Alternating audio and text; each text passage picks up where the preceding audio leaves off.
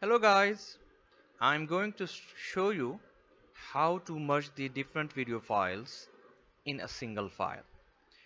The procedure is online, it's a very easy one and no need to install any software. Only need is active internet connection. The best thing is that there is no watermark will appear in the start or end of the video and no need of hurdle just like software activation or cracked version. Okay now let's start how to merge a files in a single video one. So I'm going to open the website. So this is the link www.apowersoft.com slash merge video online and this is the website. What we have to do drag the files to this point here. So I have three files which are numbered at 1 2 and 3 so okay.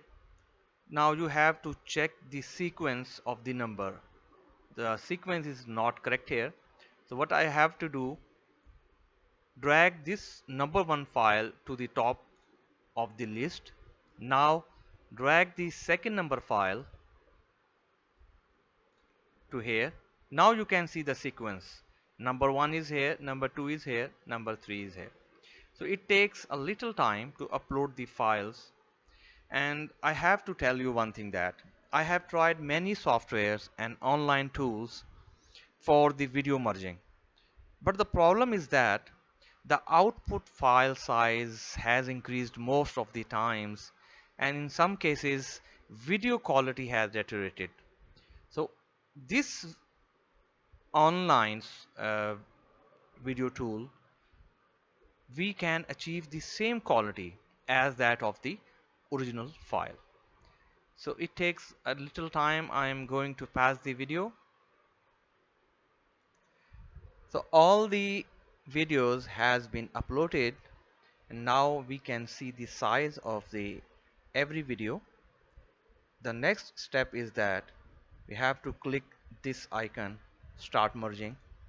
And now it takes a little time to merge the files. After that we can download it easily with a single link. So it is processing now and it takes a little time.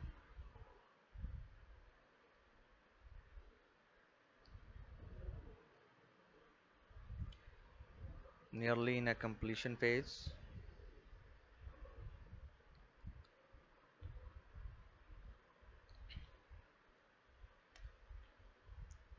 okay now we have a one single file. That one is one dash merge.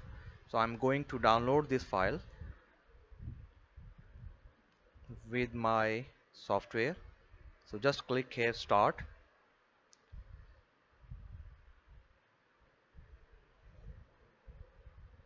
I'm going to pass the video. So video is going to download completely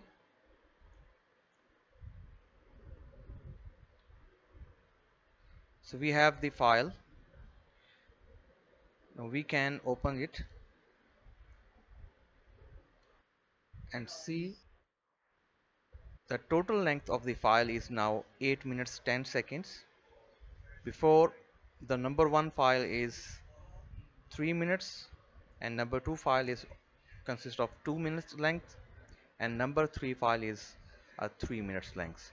So now we have a total of 8 minutes 10 second length of the single file. So you can see the quality here. The quality is the same as than that one of original.